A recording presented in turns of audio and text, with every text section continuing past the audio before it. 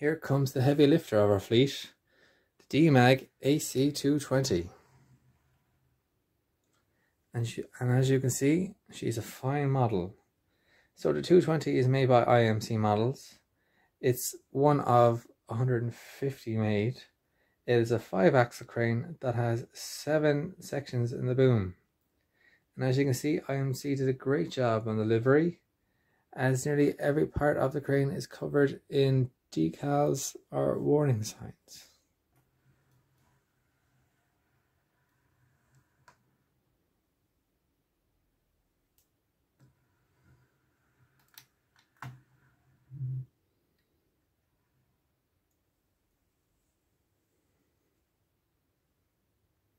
The only issue that I had with the model is that the jib, the fly jib, didn't fit flush with the head of the boom. And when contacting IMC, unfortunately, they couldn't sort it out as they didn't have one available. However, I did have an issue with the winch drum and the outrigger beam, and they sorted me out, no problem with that.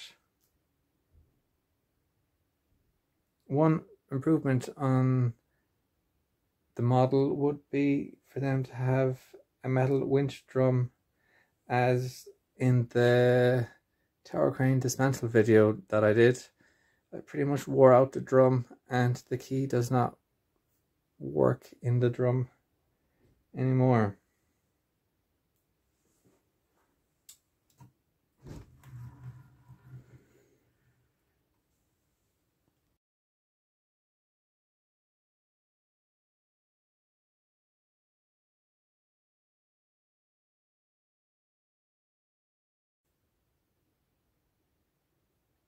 When you're getting tired and you want a lift to work, who you want to call but the Volvo FH 8x4 tractor and Nooteboom trailer.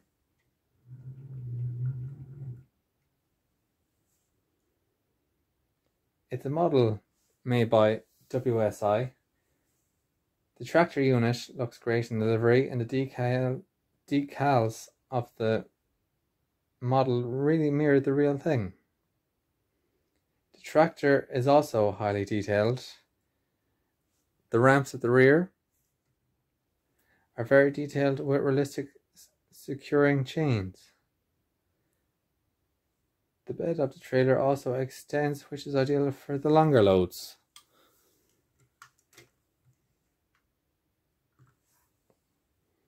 A nice little surprise. The cab tilts.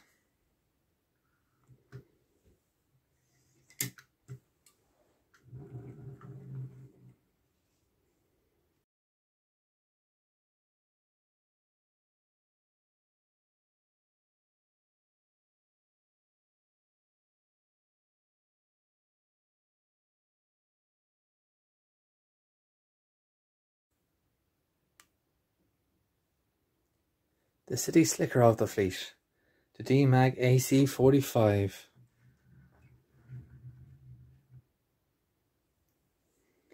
This is a model made by IMC Models. It is one of 155. It's a three axle crane, four section boom. And as you can see, IMC did a great job on delivery as nearly every part of the crane is covered in decals. It is also a highly detailed model just like its bigger brother, the 220.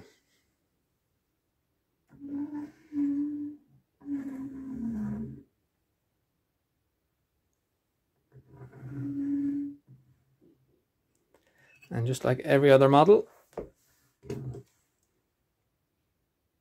it has a license plate. So they know where to send the speeding tickets.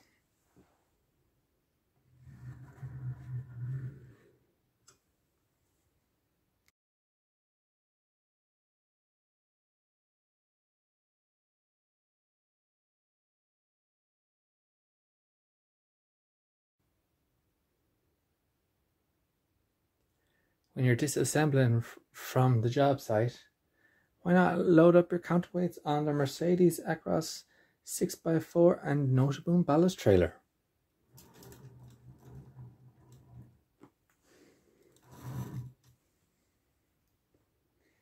This is a model by IMC Models And just like the Scania and the Volvo, the tractor unit looks great in the livery. And the decals really mirror the real thing. Something different from IMC compared to WSI is the tractor units have an opening door on both sides. However, just like WSI,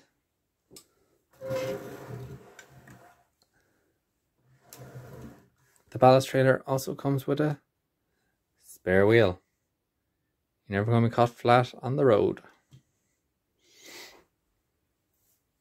So with the Nooteboom trailer, you have a nice uh, wooden floor decal and the rear wheels move together in tandem for those tight corners.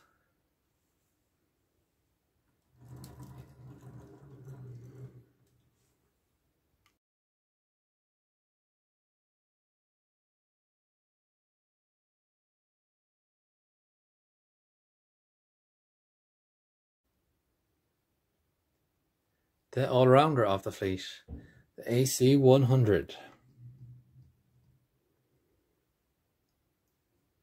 So this is a model made by Conrad Models. It was one of 150. It's a four axle crane uh, with four section boom. There's quite a reasonable level of decals on the model compared to the 220. The model is a good 10 years older than the 220, so it would have been a highly detailed model back in the day.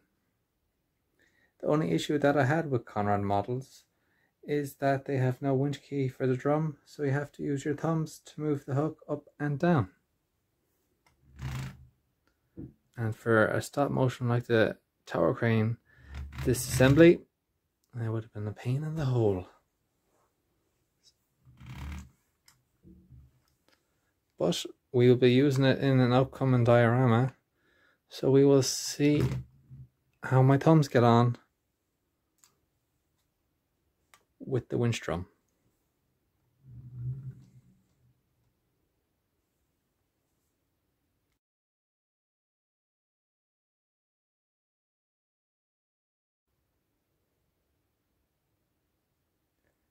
When you don't fancy carrying your counterweights on the back of the crane, load them up on a truck and get on moving.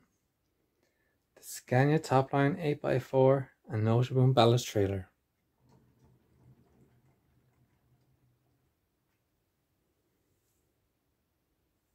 The model is made by WSI Models and as you can see the tractor unit looks great in delivery with the decals mirroring the real thing. A touch of class of the model is the light bar on top of the cab with spotlights and beam lights. There's nice detailing on the trailer with timber decking. Trailer also comes with a spare wheel if you didn't know and I'll show you where to find it.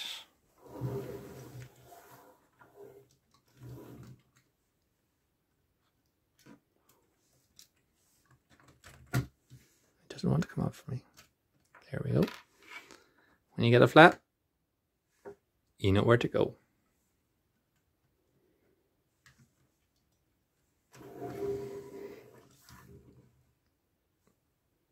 And you can see the light by there very realistic.